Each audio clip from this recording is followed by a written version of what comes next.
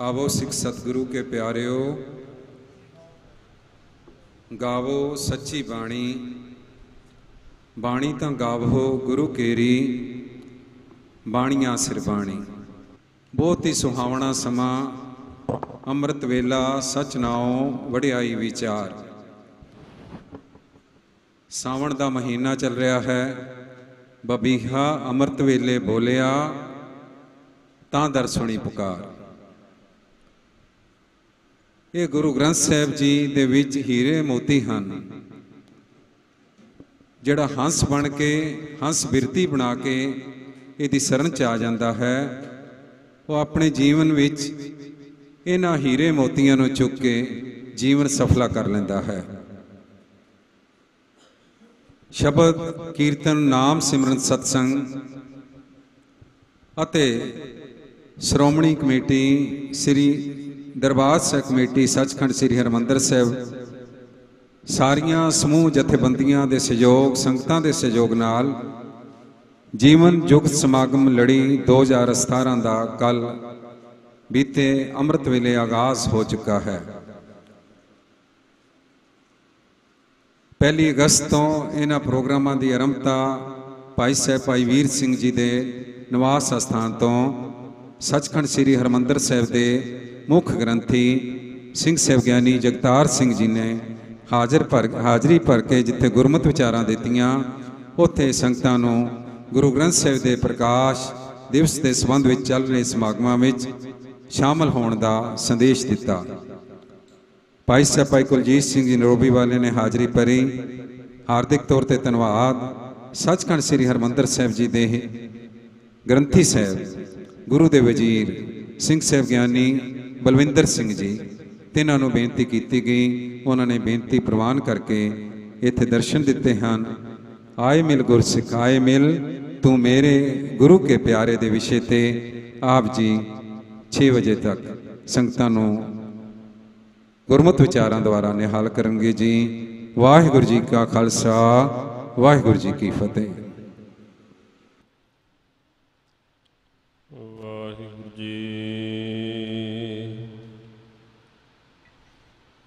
ਦਿਨਨ ਕੀ ਪ੍ਰਤਪਾਲ ਕਰੇ ਨਿਤ ਸੰਤ ਬਾਰ ਗਨਿਮਨ ਗਾਰੈ। ਪਸ਼ ਪਸ਼ੂ ਨਗ ਨਾਗ ਨਰਾਦਪ ਸਰਬ ਸਮੈ ਸਭ ਕੋ ਪ੍ਰਤਪਾਰੈ।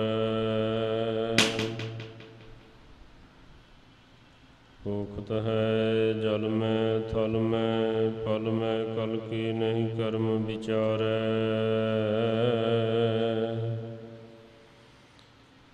ਦੀਨ ਦਇਆਲ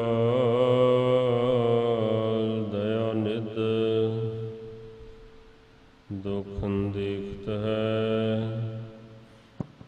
ਪਰਦੇਤ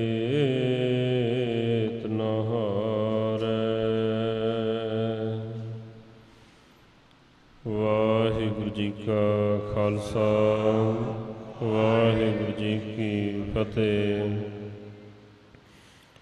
ਪਤਿਤ ਪਾਵਨ ਭਗਤ ਵਛਲ, ਕਰੁਣਾ ਨਿਧਾਨ, ਜੁਗ ਜੁਗ ਅਟਲ। ਗਰੀਬ ਨਿਵਾਜ, ਧੰਨ ਧੰਨ ਸਤਿਗੁਰੂ, ਸ੍ਰੀ ਗੁਰੂ ਗ੍ਰੰਥ ਸਾਹਿਬ ਜੀ ਦੀ ਪਾਵਨ ਪਵਿੱਤਰ ਹਜ਼ੂਰੀ ਵਿੱਚ ਬਿਰਾਜਮਾਨ ਸਮੂਹ ਗੁਰੂ ਰੂਪ ਪਿਆਰੀ ਸਾਧ ਸੰਗਤ ਜੀਓ।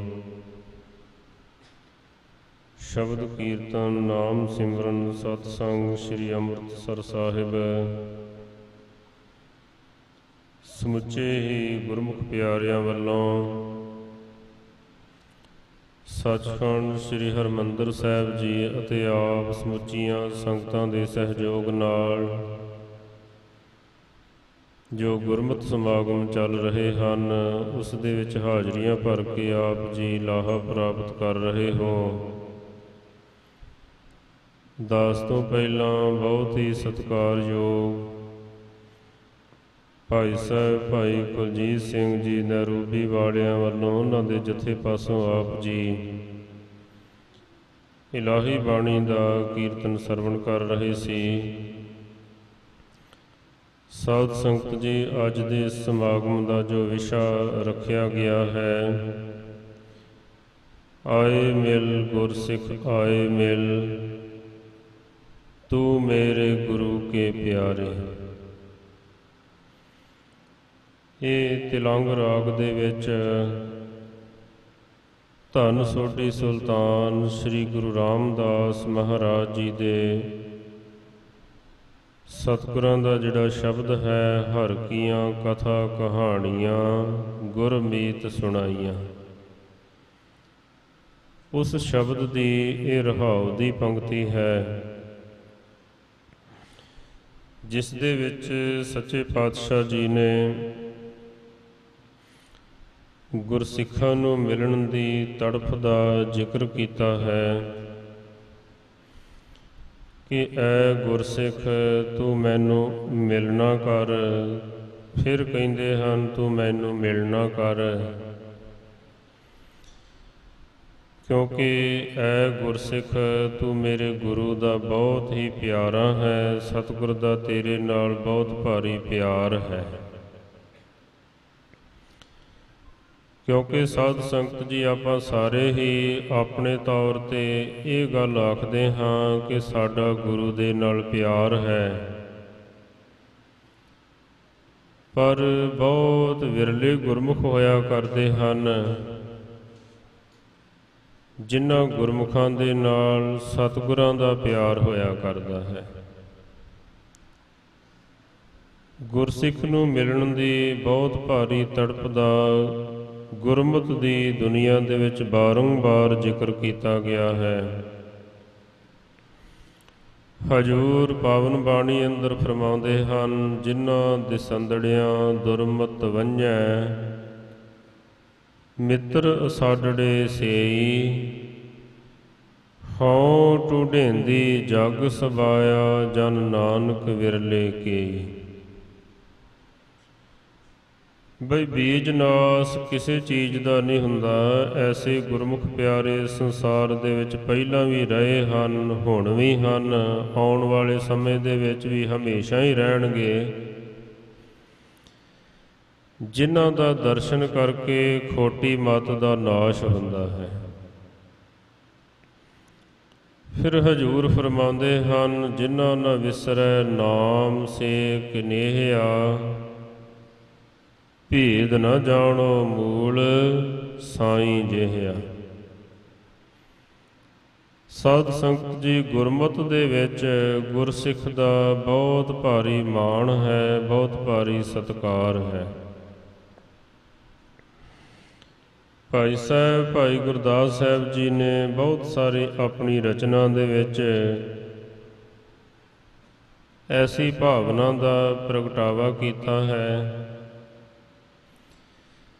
ਜਿਸ ਤਰ੍ਹਾਂ ਭਾਈ ਸਾਹਿਬ ਜੀ ਦੇ ਇੱਕ ਸਵਈਏ ਦੇ ਵਿੱਚ ਉਹ ਫਰਮਾਉਂਦੇ ਹਨ, ਪੰਜ ਬਾਰ ਗੰਗ ਜਾਏ, ਬਾਰ ਪੰਜ ਪ੍ਰਾਗ ਨਾਏ ਐਸਾ ਪੁੰਨ ਏਕ ਗੁਰ ਸਿੱਖ ਕੋ ਨਵਾਏਗਾ। ਗੰਗਾ ਦਾ ਇਸ਼ਨਾਨ ਪੰਜ ਵਾਰੀ ਕੋਈ ਕਰਕੇ ਆਵੇ।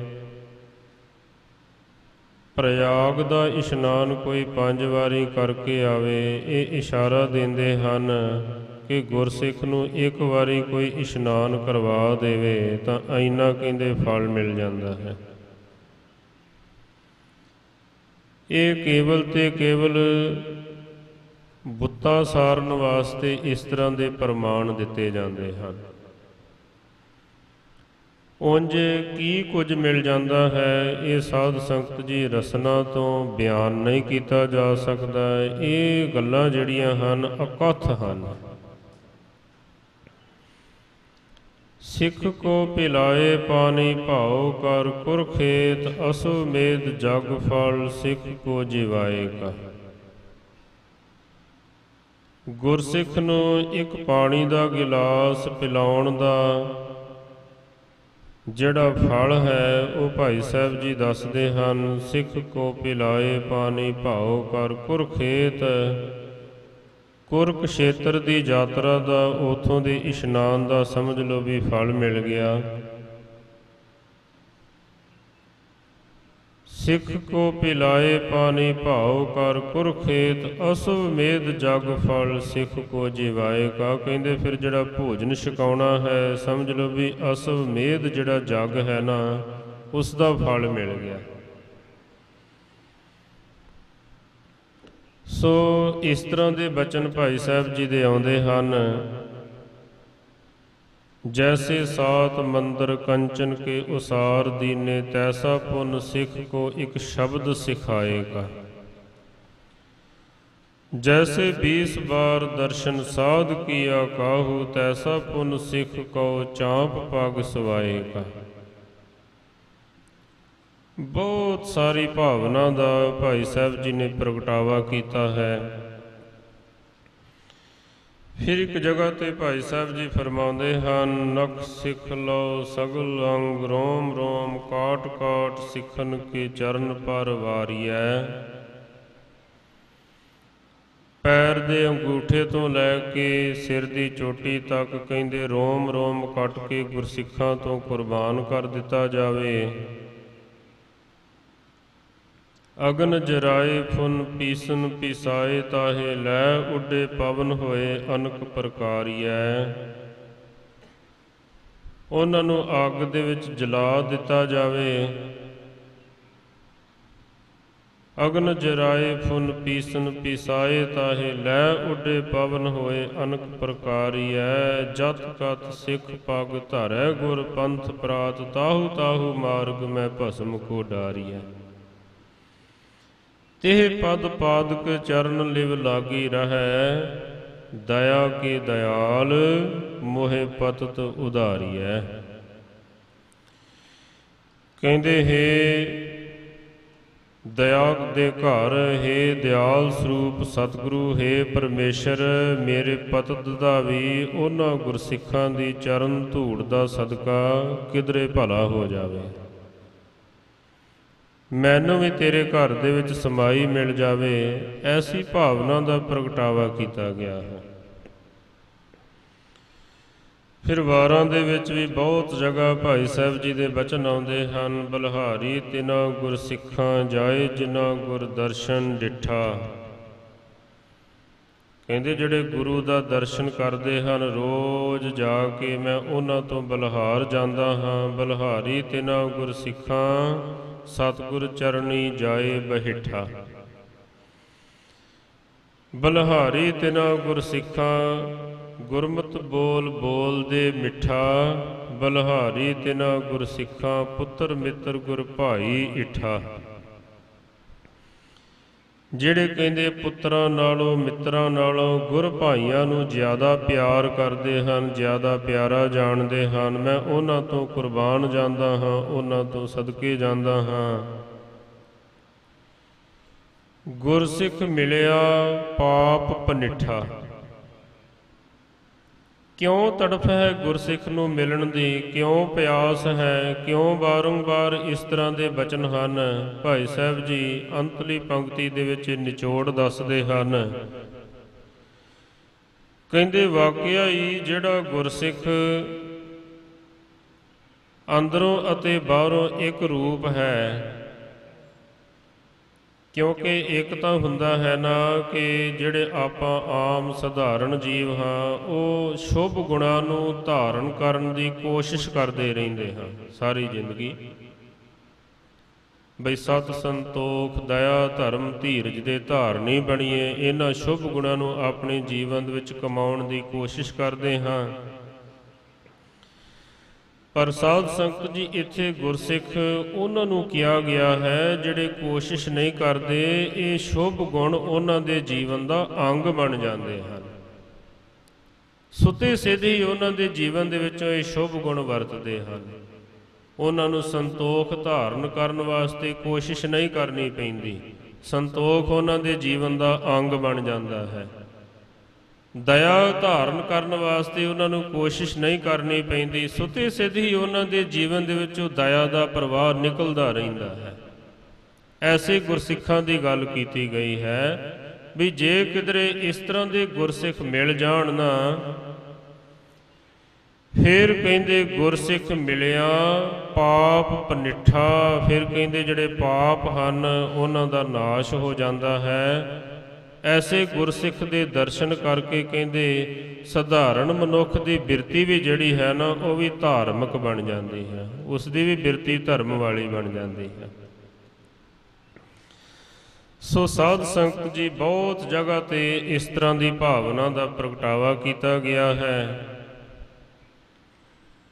ਹਉ ਤਿਸ ਘੋਲ ਕੁਮਾਇਆ ਗੁਰਮਤਿ ਹਿਰਦੈ ਗਰੀਬੀ ਆਵੇ। ਹਉ ਤਿਸ ਘੋਲ ਕੁਮਾਇਆ ਪਰ ਨਾਰੀ ਦੇ ਨੇੜ ਨਾ ਜਾਵੇ। ਹਉ ਤਿਸ ਘੋਲ ਕੁਮਾਇਆ ਪਰ ਦਰਬੈ ਨੂੰ ਹੱਥ ਨਾ ਲਾਵੇ। ਹਉ ਤਿਸ ਘੋਲ ਕੁਮਾਇਆ ਪਰ ਨਿੰਦਾ ਸੁਣ ਆਪ ਹਟਾਵੇ। ਹਉ ਤਿਸ ਘੋਲ ਕਮਾਇਆ ਸਤਿਗੁਰ ਕਾ ਉਪਦੇਸ਼ ਕਮਾਵੇ। ਗੁਰਮੁਖ ਸੋਈ ਸਹਿਜ ਸਮਾਵੇ। ਹੁਣ ਸਾਧ ਸੰਗਤ ਜੀ, ਆਪਣੀ ਆਮ ਮਨੁੱਖਾਂ ਦੀ ਇਹ ਬਿਰਤੀ ਹੋਇਆ ਕਰਦੀ ਹੈ ਕਿ ਆਪਾਂ ਨੂੰ ਹੁਣ ਪਹਿਚਾਣ ਨਹੀਂ ਹੈ ਵੀ ਕਿਹੜਾ ਗੁਰਸਿੱਖ ਗੁਰੂ ਦੇ ਚਰਨਾਂ ਦੇ ਨਾਲ ਜੁੜਿਆ ਹੋਇਆ ਹੈ, ਕਿਹੜਾ ਕੇਵਲ ਤੇ ਕੇਵਲ ਬਾਹਰ ਦਾ ਦਿਖਾਵਾ ਹੀ ਕਰ ਰਿਹਾ ਹੈ। ਇਹ ਮੁਸ਼ਕਲ ਹੁੰਦੀ ਹੈ। ਇਸ ਤਰ੍ਹਾਂ ਦੀ ਬੇਨਤੀ ਸਾਧ ਸੰਗਤ ਜੀ, ਧੰਨ ਮੀਰੀ ਪੀਰੀ ਦੇ ਮਾਲਕ। ਦਸਤਗੀਰ ਹੋਏ ਪੰਜ ਪੀਰ, ਹਰ ਗੁਰ ਹਰ ਗੋਬਿੰਦ ਅਤੋਲਾ। ਦੀਨ ਦੁਨੀ ਦਾ ਪਾਤਸ਼ਾਹ ਪਾਤਸ਼ਾਹ ਪਾਤਸ਼ਾਹ ਅਡੋਲਾ। ਐਸੇ ਸਤਿਗੁਰਾਂ ਦੇ ਚਰਨਾਂ ਦੇ ਵਿੱਚ ਸਾਧ ਸੰਗਤ ਜੀ ਭਾਈ ਤੀਰਥਾ ਨਾਮ ਦਾ ਇੱਕ ਗੁਰਸਿੱਖ ਸੀ, ਉਸਨੇ ਬੇਨਤੀ ਕੀਤੀ, ਹਜੂਰ ਸੱਚੇ ਪਾਤਸ਼ਾਹ ਜੀ, ਵੀ ਅਸੀਂ ਗ੍ਰਸਤੀ ਜੀਵ ਹਾਂ, ਅਸੀਂ ਕਿਰਤੀ ਜੀਵ ਹਾਂ। ਕਿਰਪਾ ਕਰੋ ਸਾਡੀ ਕਲਿਆਣ ਕਿਵੇਂ ਹੋਵੇ। ਛੇਵੇਂ ਪਾਤਸ਼ਾਹ ਧੰਨ ਸ੍ਰੀ ਗੁਰੂ ਹਰਗੋਬਿੰਦ ਸਾਹਿਬ ਮਹਾਰਾਜ ਜੀ ਨੇ ਬਚਨ ਕੀਤੇ ਕਿ ਭਾਈ ਤੀਰਥਾ ਜੀ, ਜੇਕਰ ਤੂੰ ਆਪਣੀ ਕਲਿਆਣ ਚਾਹੁੰਦਾ ਹੈ ਤਾਂ ਫਿਰ ਗੁਰਸਿੱਖਾਂ ਦੀ ਸੇਵਾ ਕਰਿਆ ਕਰ। ਭਾਈ ਤੀਰਥਾ ਜੀ ਨੇ ਵੀ ਇਹੀ ਸਾਡੇ ਵਾਲੀ ਬੇਨਤੀ ਕੀਤੀ ਕਿ ਹਜੂਰ ਸੱਚੇ ਪਾਤਸ਼ਾਹ ਜੀ, ਮੇਰੀ ਇੰਨੀ ਮਤ ਨਹੀਂ, ਮੈਨੂੰ ਇੰਨੀ ਸਮਝ ਨਹੀਂ, ਮੈਨੂੰ ਕੀ ਪਤਾ ਹੈ ਵੀ ਕੌਣ ਗੁਰਸਿੱਖ ਰੰਗਿਆ ਹੋਇਆ ਹੈ, ਕੌਣ ਗੁਰਸਿੱਖ ਸਧਾਰਨ ਹੀ ਹੈ? ਕਿਉਂਕਿ ਜਿਹੜੇ ਰੰਗੇ ਹੋਏ ਹੋਇਆ ਕਰਦੇ ਹਨ, ਉਹ ਆਪਣੇ ਆਪ ਨੂੰ ਜ਼ਿਆਦਾਤਰ ਛੁਪਾ ਕੇ ਰੱਖਦੇ ਹਨ। ਜਿਵੇਂ ਭਾਈ ਸਾਹਿਬ, ਭਾਈ ਵੀਰ ਸਿੰਘ ਜੀ ਦੇ ਬਚਨ ਹਨ, ਮੇਰੀ ਛੁਪੇ ਰਹਿਣ ਦੀ ਚਾਹ ਕਿ ਲੁਕ ਛੁਪ ਜਾਣ ਦੀ, ਇਹ ਪੂਰੀ ਹੁੰਦੀ ਨਾ, ਮੈਂ ਤਰਲੇ ਲੈ ਰਿਹਾ। ਕਹਿੰਦੇ ਉਹ ਤਾਂ ਆਪਣੇ ਆਪ ਨੂੰ ਛਪਾ ਕੇ ਰੱਖਦੇ ਹਨ। ਸੱਚੇ ਪਾਤਸ਼ਾਹ ਸ੍ਰੀ ਗੁਰੂ ਹਰਗੋਬਿੰਦ ਸਾਹਿਬ ਮਹਾਰਾਜ ਜੀ ਨੇ ਇੱਕ ਬਚਨ ਕੀਤਾ, ਆਖਣ ਲੱਗੇ, ਭਾਈ ਤੀਰਥਾ ਜੀ, ਤੂੰ ਸਾਰੇ ਗੁਰਸਿੱਖਾਂ ਦੀ ਸੇਵਾ ਕਰਨੀ ਸ਼ੁਰੂ ਕਰ ਦੇ। ਕਿਸੇ ਨੂੰ ਮਾੜਾ, ਕਿਸੇ ਨੂੰ ਚੰਗਾ ਨਹੀਂ ਸਮਝਣਾ। ਇਸ ਤਰ੍ਹਾਂ ਦੀ ਆਪਣੀ ਬਿਰਤੀ ਬਣਾ। ਜਿਸ ਤਰ੍ਹਾਂ ਭਾਈ ਸਾਹਿਬ, ਭਾਈ ਨੰਦ ਲਾਲ ਜੀ ਦੇ ਬਚਨ ਹਨ, ਰੂਹ ਦਰ ਹਰ ਜਿਸਮ ਗੁਰੂ ਗੋਬਿੰਦ ਸਿੰਘ, ਨੂਰ ਦਰ ਹਰ ਚਸ਼ਮ ਗੁਰੂ ਗੋਬਿੰਦ ਸਿੰਘ। ਫਿਰ ਭਾਈ ਕਨਈਆ ਜੀ ਦੇ ਬਚਨ ਹਨ ਨਾ, ਉਹਨਾਂ ਨੇ ਜਿਹੜੇ ਬਚਨ ਕੀਤੇ ਸਨ, ਭਾਈ ਸਾਹਿਬ, ਭਾਈ ਵੀਰ ਸਿੰਘ ਜੀ ਨੇ ਉਹਨਾਂ ਨੂੰ ਕਲਮਬੰਦ ਕੀਤਾ ਹੈ। ਕਹਿੰਦੇ, ਤੈਨੂੰ ਪਿਆ ਪਿਲਾਵਾ ਪਾਣੀ, ਸਿਰ ਮੇਰੇ ਦੇ ਸਾਈ। ਤੁਰਕ ਅਤੁਰਕ ਨਾ ਦਿਸਦਾ ਕੋਈ, ਤੂੰ ਸਾਰੇ ਦਿਸ ਆਈ। ਕਹਿੰਦੇ, ਸਾਰੇ ਪਾਸੇ ਮੈਨੂੰ ਹੁਣ ਤੇਰਾ ਹੀ ਰੂਪ ਦਿਖਾਈ ਦਿੰਦਾ ਹੈ। ਫਿਰ ਸੱਚੇ ਪਾਤਸ਼ਾਹ ਜੀ ਨੇ ਜਿਹੜਾ ਉੱਤਰ ਦਿੱਤਾ, ਭਾਈ ਸਾਹਿਬ ਜੀ ਫਰਮਾਉਂਦੇ ਹਨ, ਹੱਸੇ ਤੇ ਗਲ ਲਾਇਆ ਪਿਆਰਾ, ਡੱਬੀ ਹੱਥ ਫੜਾਈ। ਆਖਣ ਲੱਗੇ, ਪਾਣੀ ਨਾਲ ਮਲਮ ਵੀ ਰੱਖੀ ਲੋੜ ਪਈ ਤੇ ਲਾਈ ਸੋ ਸਾਧ ਸੰਗਤ ਜੀ, ਸਤਿਗੁਰੂ ਜੀ ਆਖਣ ਲੱਗੇ, ਸਾਰੇ ਗੁਰਸਿੱਖਾਂ ਦਾ ਸਤਿਕਾਰ ਕਰਨਾ ਸ਼ੁਰੂ ਕਰ ਦੇ। ਸਾਧ ਸੰਗਤ ਜੀ, ਸਾਡੇ ਵਿੱਚੋਂ ਇਹ ਬਿਰਤੀ ਜਿਹੜੀ ਹੈ ਨਾ ਖਤਮ ਹੁੰਦੀ ਜਾ ਰਹੀ ਹੈ। ਗੁਰਮਤ ਸਮਾਗਮਾਂ ਦਾ ਇਹੋ ਹੀ ਭਾਵ ਹੋਇਆ ਕਰਦਾ ਹੈ ਵੀ ਆਪਾਂ ਕੁਝ ਸਿੱਖਿਆ ਲੈ ਸਕੀਏ। ਆਪਾਂ ਅਗਲੇ ਦੇ ਔਗਣ ਫਰੋਲਣੇ ਸ਼ੁਰੂ ਕਰ ਦਿੰਦੇ ਆ ਪਰ ਸਤਿਗੁਰਾਂ ਦਾ ਹੁਕਮ ਹੈ ਕਿ ਸਾਨੂੰ ਗੁਣ ਇਕੱਠੇ ਕਰਨੇ ਚਾਹੀਦੇ ਹਨ। ਸਾਂਝ ਕਰੀਜੈ ਗੁਣਾ ਕੇਰੀ, ਛੋੜ ਅਵਗੁਣ ਚੱਲੀਐ। ਜੇ ਔਗਣਾਂ ਦੀ ਗੱਲ ਕਰਾਂਗੇ, ਆਪਾਂ ਕਿਹੜੇ ਔਗਣਾਂ ਤੋਂ ਬਚੇ ਹੋਏ ਹਾਂ ਜਾਂ ਫਿਰ ਤਾਂ ਬੜੀ ਮੁਸ਼ਕਲ ਬਣ ਜਾਵੇਗੀ। ਸਤਿਗੁਰੂ ਪਾਤਸ਼ਾਹ ਜੀ ਨੇ ਇੱਕ ਇਤਿਹਾਸਕ, ਮਿਥਿਹਾਸਕ ਗਾਥਾ ਵੀ ਸੁਣਾਈ। ਸੂਰਜ ਪ੍ਰਕਾਸ਼ ਦੇ ਵਿੱਚ ਇਹ ਸਾਰਾ ਲੰਬਾ ਚੌੜਾ ਪ੍ਰਸੰਗ ਲਿਖਿਆ ਹੋਇਆ ਹੈ। ਆਖਣ ਲੱਗੇ, ਇੱਕ ਰਾਜੇ ਨੂੰ ਹੰਸ ਦੇਖਣ ਦੀ ਇੱਛਾ ਹੋਈ। ਕਿਸੇ ਦੇ ਕੋਲੋਂ ਜੁਗਤੀ ਪੁੱਛੀ, ਉਸਨੇ ਕਿਹਾ ਕਿ ਤੂੰ ਹਰ ਪ੍ਰਕਾਰ ਦਾ ਚੋਗਾ ਪਾਇਆ ਕਰ। ਕਿਧਰੇ ਦੂਸਰੇ ਪੰਛੀਆਂ ਦੇ ਨਾਲ ਰਲ ਕੇ ਜਿਹੜੇ ਹੰਸ ਹਨ, ਉਹ ਵੀ ਤੇਰੇ ਕੋਲ ਜ਼ਰੂਰ ਆਉਣਗੇ, ਉਹ ਵੀ ਦਰਸ਼ਨ ਦੇਣਗੇ। ਸੋ ਬੜੀ ਉਸ ਦੀ ਉਪਮਾ ਸੁਣ ਕੇ ਇੱਕ ਦਿਨ ਹੰਸਾਂ ਦਾ ਜੋੜਾ ਜਿਹੜਾ ਸੀ, ਉਹ ਵੀ ਉਸ ਦੇ ਪਾਸ ਆ ਗਿਆ। ਉਹਨਾਂ ਨੇ ਮੋਤੀ ਚੁਗੇ ਦੁੱਧ ਪੀਤਾ ਅਤੇ ਜਿਹੜੇ ਕੀਮਤੀ ਲਾਲ ਸਨ, ਉਹਨਾਂ ਨੂੰ ਉਗਲਾਸ਼ ਦਿੱਤਾ। ਰਾਜੇ ਨੂੰ ਲਾਲਾਂ ਦੀ ਪ੍ਰਾਪਤੀ ਹੋ ਗਈ। ਨਾਲੇ ਹੰਸਾਂ ਦੇ ਦਰਸ਼ਨ ਹੋ ਗਏ। ਸਾਧ ਸੰਗਤ ਜੀ, ਸਤਪੁਰਸ਼ਾਂ ਦੇ ਬਚਨ, ਕਮਾਈ ਵਾਲਿਆਂ ਦੇ ਬਚਨ, ਕਿਉਂਕਿ ਸਟੇਜਾਂ ਤੇ ਬੋਲਣਾ ਹੋਰ ਗੱਲ ਹੁੰਦੀ ਹੈ, ਕਿਸੇ ਨੂੰ ਵੈਸੇ ਸਿੱਖ ਮਤ ਦੇਣੀ ਹੋਰ ਗੱਲ ਹੁੰਦੀ ਹੈ। ਉੱਤਮ ਸ਼ਲੋਕ ਸਾਧ ਕੇ ਬਚਨ, ਅਮੁਲੀਕ ਲਾਲ ਇਹ ਰਤਨ। ਕਹਿੰਦੇ ਸਤਪੁਰਸ਼ਾਂ ਦੇ ਬਚਨ ਜਿਹੜੇ ਹੋਇਆ ਕਰਦੇ ਹਨ ਨਾ, ਉਹ ਕੀਮਤੀ ਲਾਲਾਂ ਦੀ ਤਰ੍ਹਾਂ ਹੋਇਆ ਕਰਦੇ ਹਨ। ਸਾਧ ਸੰਗਤ ਜੀ, ਸਤਿਗੁਰਾਂ ਦਾ ਬਚਨ ਮੰਨ ਕੇ ਭਾਈ ਤੀਰਥਾ ਜੀ ਨੇ ਸਾਰੇ ਗੁਰਸਿੱਖਾਂ ਦੀ ਸੇਵਾ ਕਰਨੀ ਆਰੰਭ ਕਰ ਦਿੱਤੀ। ਇੱਕ ਦਿਨ ਫਿਰ ਕਹਿੰਦੇ ਵੀ ਜੋ ਤਤ ਬੇਤਾ ਮਹਾਂਪੁਰਸ਼ ਸਨ, ਗੁਰਮੁਖ ਪਿਆਰੇ ਅੰਦਰੋਂ ਬਾਹਰੋਂ ਰੰਗੇ ਹੋਏ, ਉਹਨਾਂ ਨੇ ਦਰਸ਼ਨ ਦੇ ਦਿੱਤੇ। ਅਤੇ ਉਹਨਾਂ ਨੇ ਫਿਰ ਐਸੇ ਵਚਨ ਸੁਣਾਏ ਕਿ ਉਹ ਜਿਹੜਾ ਜੀਵਨ ਸੀ, ਸਾਧ ਸੰਗਤ ਜੀ ਮਾਲਾ ਮਾਲ ਹੋ ਗਿਆ। ਕਿਉਂਕਿ ਜਿਵੇਂ ਬਾਹਰ ਦੇ ਰਤਨ ਪ੍ਰਾਪਤ ਹੋ ਜਾਣ, ਤਾਂ ਬਾਹਰ ਦੀ ਜ਼ਿੰਦਗੀ ਸੌਖੀ ਹੋ ਜਾਂਦੀ ਹੈ, ਬਾਹਰ ਦਾ ਧਨ ਪ੍ਰਾਪਤ ਹੋ ਜਾਵੇ। ਇਹ ਜਿਹੜੇ ਸਤਪੁਰਸ਼ਾਂ ਦੇ ਬਚਨ ਅਮੋਲਕ ਰਤਨ ਹਨ, ਜੇ ਕਿਧਰੇ ਕਿਸੇ ਨੂੰ ਪ੍ਰਾਪਤ ਹੋ ਜਾਣ, ਤਾਂ ਸਾਧ ਸੰਗਤ ਜੀ ਜੀਵਨ ਧੰਤਾ ਦੇ ਯੋਗ ਹੋ ਜਾਂਦਾ ਹੈ। ਉੱਤਮ ਸ਼ਲੋਕ ਸਾਧ ਕੇ ਬਚਨ, ਅਮੁੱਲੀਕ ਲਾਲ ਇਹ ਰਤਨ। ਐਸੇ ਬਚਨ ਭਾਈ ਤੀਰਥਾ ਜੀ ਨੂੰ ਸੁਣਾਏ, ਤਾਂ ਸਾਧ ਸੰਗਤ ਜੀ ਉਹਨਾਂ ਦਾ ਜੀਵਨ ਮਾਲਾ ਮਾਲ ਹੋ ਗਿਆ। ਸੋ ਇਹ ਜੋ ਅੱਜ ਦਾ ਪ੍ਰਕਰਨ ਹੈ, ਇਸ ਦੇ ਵਿੱਚ ਇਸ ਤਰ੍ਹਾਂ ਦੀ ਤੜਫ ਹੈ ਜਿਵੇਂ ਅਰਦਾਸ ਵਿੱਚ ਵੀ ਆਪਾਂ ਇਹੀ ਬੇਨਤੀ ਕਰਦੇ ਹਾਂ ਸੇ ਗੁਰਮੁਖ ਪਿਆਰੇ ਮਿਲੋ ਜਿਨ੍ਹਾਂ ਮਿਲਿਆ ਤੇਰਾ ਨਾਮ ਚਿਤ ਆਵੇ। ਸੰਸਾਰ ਦੇ ਵਿੱਚ ਬਹੁਤ ਸਾਰੇ ਆਪਾਂ ਨੂੰ ਇਸ ਤਰ੍ਹਾਂ ਦੇ ਮਿਲਦੇ ਰਹਿੰਦੇ ਹਨ, ਜਿਨ੍ਹਾਂ ਨੂੰ ਮਿਲ ਕੇ ਧਨ ਚੇਤੇ ਆਉਂਦਾ ਹੈ, ਜਿਨ੍ਹਾਂ ਨੂੰ ਮਿਲ ਕੇ ਜ਼ਮੀਨ ਜਾਇਦਾਦ ਚੇਤੇ ਆ ਜਾਂਦੀ ਹੈ, ਪਲਾਟ ਚੇਤੇ ਆ ਜਾਂਦੇ ਹਨ।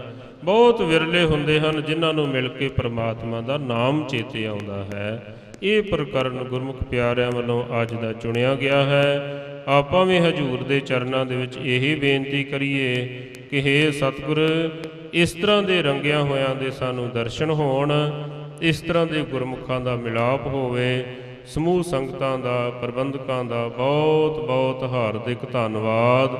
ਇੱਥੇ ਹੀ ਸਮਾਪਤੀ ਹੈ ਜੀ, ਭੁੱਲਾਂ ਚੁੱਕਾਂ ਦੀ ਖਿਮਾ। ਫਤਿਹ ਸਾਂਝੀ ਕਰੀਏ ਵਾਹਿਗੁਰੂ ਜੀ ਕਾ ਖਾਲਸਾ। ਵਾਹਿਗੁਰੂ ਜੀ ਕੀ ਫਤਿਹ।